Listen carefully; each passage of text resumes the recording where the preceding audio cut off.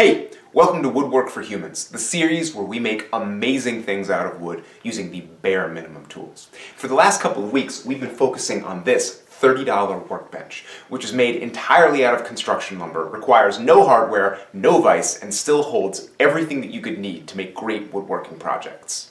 But now that this bench is done, I've got a problem. It is constantly covered in tools. Because I want to keep my Woodwork for Humans tools separate from the rest of my shop, so I keep them on the bench. But then I've got no place to sit and do my projects. And so I end up moving these tools. And the places that I'm moving them to, well, I haven't been making many friends around the house. So it seems pretty obvious to me, it's time to make a tool tote.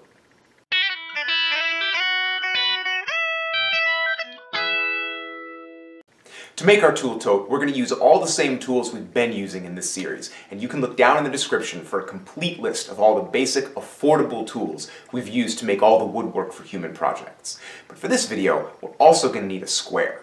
Now, I plan on making some simple wooden try-squares in a future video because they're a great skill building project and wooden try-squares work great, especially for woodworking projects.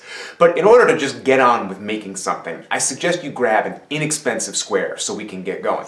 You might want to grab this little one off of AliExpress. It is under $3 with free shipping. I did a complete review video on it a couple weeks back. You can click the link and watch that video.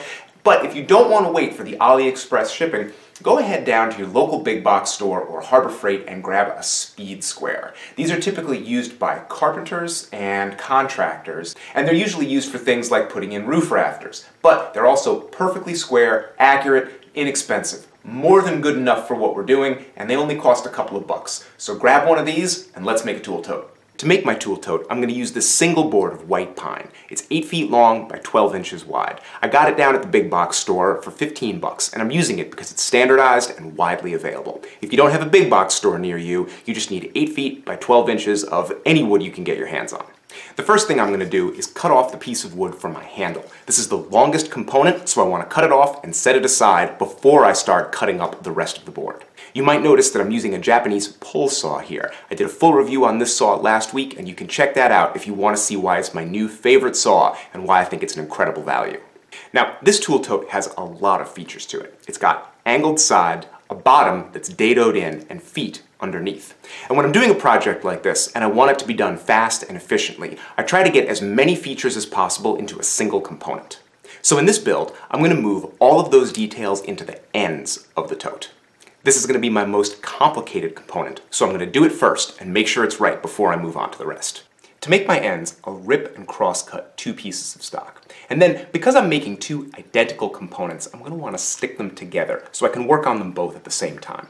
To do that, I'll use a combination of blue painter's tape and superglue. And this is like the world's best double-sided tape, because it holds things together really well, but it lets go when the time comes to peel things apart. With my two end pieces stuck together, I'll plane the edges and the end grain straight and square, and then I'll lay out all the angles, measurements, and curves on the piece in pencil. Now, you might have noticed that this project has a lot more measurements and angles and details than my usual projects, so I've come up with a set of plans. They're available on my website. They're very inexpensive, and you can click the link down in the description to check those out.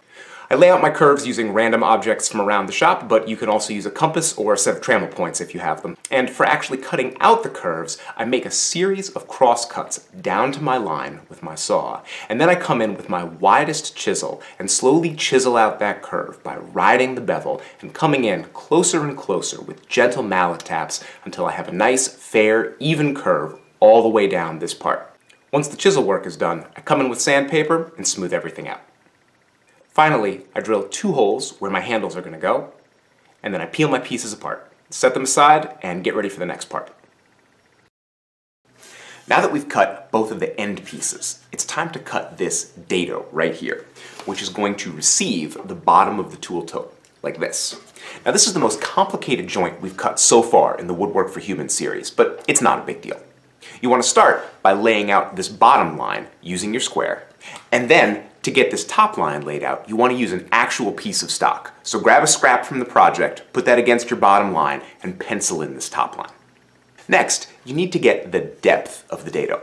And to do that, I just took a flat piece of scrap, laid it next to my end, and traced over the top of that. And that gave me an excellent depth line. It can be anywhere from an eighth to a quarter of an inch deep. I don't even know how thick this scrap is. It doesn't matter. Once you've got your joint laid out, clamp a straight piece of scrap wood along the bottom line and then slowly saw down to the bottom at either end and using a fine-tooth saw, kind of like a flush cut, you want to just ride against that piece of scrap and slowly work your way down close to the bottom of the joint. Don't overshoot and leave it a little shallow if you have to, because we're going to be using a chisel to get our final depth. Once you've got that line sawed, you can go ahead and take your chisel and start removing the waste. Just go slowly and take out pieces at a shallow angle. When the bottom is done, we're going to want to do the actual layout for the top. And for that, we're going to need the bottom of the tote, which we haven't made yet. So take a minute, rip, crosscut, and square a piece of stock for your bottom. And then what you're going to want to do is take your bottom, rest it against that little bottom shelf that you've just made, lean it up so that it touches the top, and then take a chisel and score along the top of that piece of wood. You're trying to make this line as tight as possible. You might even undercut it a little bit because we're looking for a super tight fit here.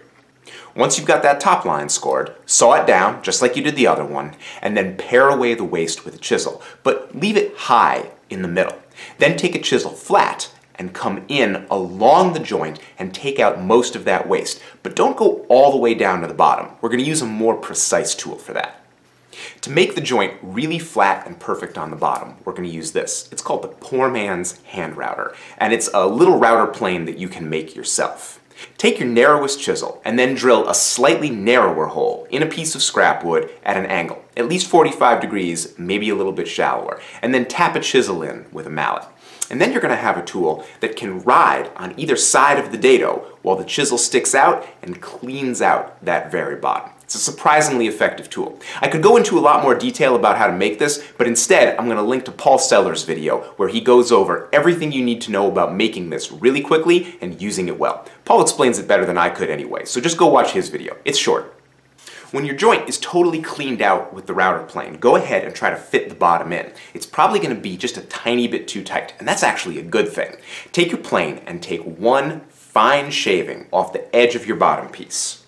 And once you've done that, your bottom should pop right in, although it's still going to be a pretty snug fit. That's exactly what you're looking for. You can repeat that process with the other end, and then we can move on to the sides and the handle. To make my handle, I'm going to take the long piece of stock that I cut early in the video and drill a 3 quarter inch hole at either end. This is mostly an aesthetic detail and it'll make a lot more sense once the whole thing is together.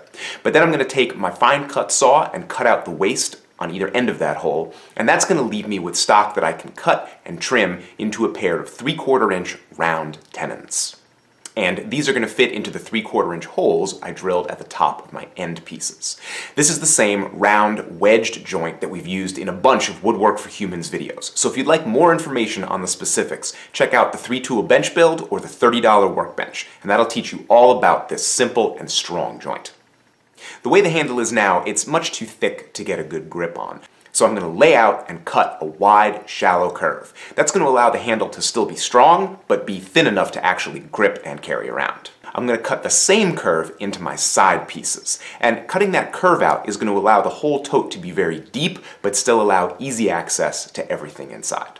Now that I have all my major components made, it's a good idea to glue up this whole structure and let it dry before I finish the whole thing off. So to get ready for glue up, I'm going to set my plane for its lightest setting and do a very fine smoothing pass over all of my parts. And that's going to take off all the pencil marks, dirt, dings, and damage that this white pine has picked up during the fabrication process. I'm also going to take a second and lay out some curves and cut them out on the bottoms of my ends, and that's going to leave me with three feet.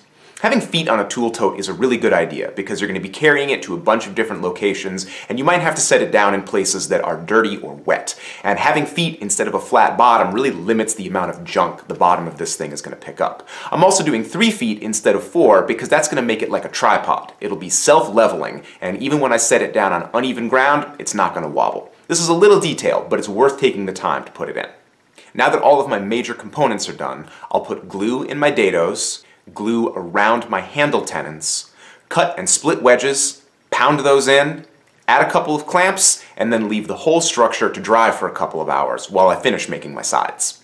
Okay, so after the piece has had a couple of hours in the clamps, the glue is set enough to keep working on it. So here it is, I've got the basic structure worked out. I can already feel how strong it's gonna be and it's super lightweight. So I'm excited so far. I just have to get these sides on here and then everything's gonna be fine. But the sides do present a bit of a problem. The sides, they're gonna have to run this way with the grain. But then I have the ends, and the grain on the ends runs in the opposite direction. Now, if you know anything about wood movement, you know that wood expands across the grain. It doesn't really grow lengthwise. So these pieces on the ends over here, they're not going to be expanding and contracting with the weather, but the sides are going to expand and contract with the weather a lot. So if I take the sides and just glue them on right here, as soon as I get a big change in temperature humidity, they're just gonna pop right off again. Which is why, when you look at old tool totes, you see the sides most often are nailed or screwed on.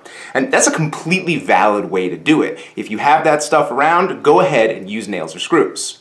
Now at the same time, maybe you don't have that stuff, or you just want an all wood look for your tote. And that's what I'm going for here, so I don't want to use hardware. Instead, I'm going to put these sides on with wooden pegs, which you can make really easily. I'm going to use half inch pegs, and they're very, very easy to make. If you've already made these round wedged tenon, then you have all the skill you need to just carve a round tenon that's a half inch in diameter, and they only have to be about an inch or an inch and a half long. So it's not very hard to crank out a few of those. The other thing that you can do if you have some drilling capability and a little scrap metal around is you can take a piece of plain old mild steel, nothing super special, and drill a half inch hole in it.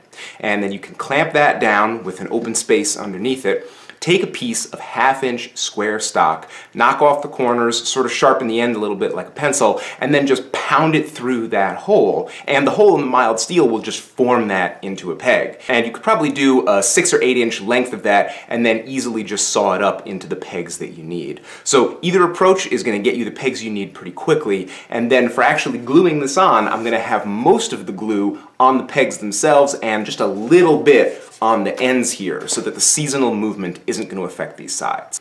Now you're going to notice as I'm putting these sides on that they overhang a lot on one end and that was totally intentional. I wasn't 100% sure of the length I was going to end up with and it's always possible your ends might not be 100% square to the bottom. That's not really a problem with these overlapping sides. If they're laying over a little bit you can just take your Japanese saw and go along and flush cut those sides and then follow up with the plane or some sandpaper and they're going to come out perfect no matter what. Once the glue dries on your pegs, you can flush cut them and then either sand or plane the last little details off the box. And then you're done. And here's the finished product. And I have to be honest, I'm pretty happy with the way this came out. It's got a nice, clean, sturdy look and some good details. Now you might be wondering, how does this thing hold tools?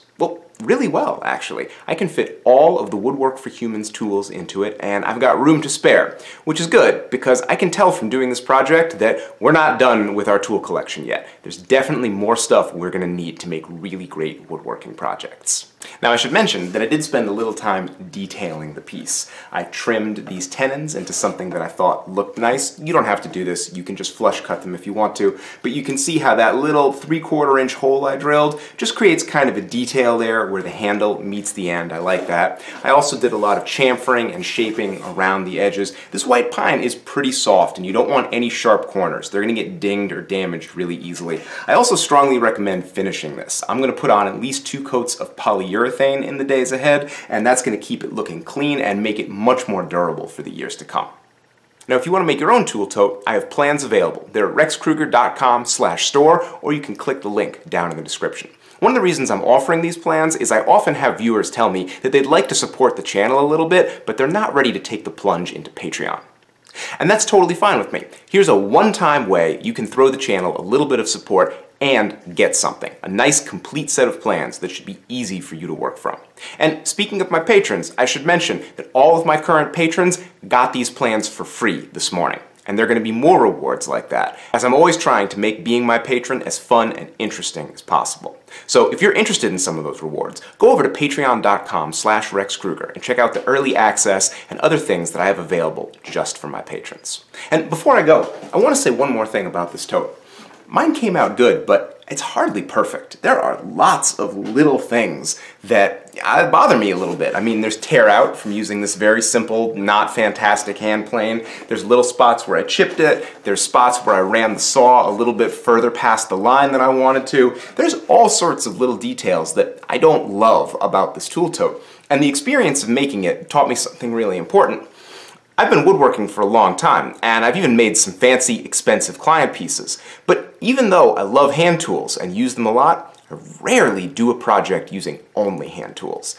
And really, when you take all the machines away, it's a different world. There's a lot more burden on you to be precise and accurate and get things to fit together and achieve a good finish without a machine to do some of the work for you. So if this is your first project that you're doing with all hand tools, or your first woodworking project period, take it easy on yourself. I've been doing woodwork for a long time, and this still could have come out a little better. I might make another one in the future, try to get it a little crisper, a little nicer looking. Anyway, if I do, you know I'll document it right here, so come on back next week and see what else I'm doing on the Woodworking for Humans series. Thanks a bunch.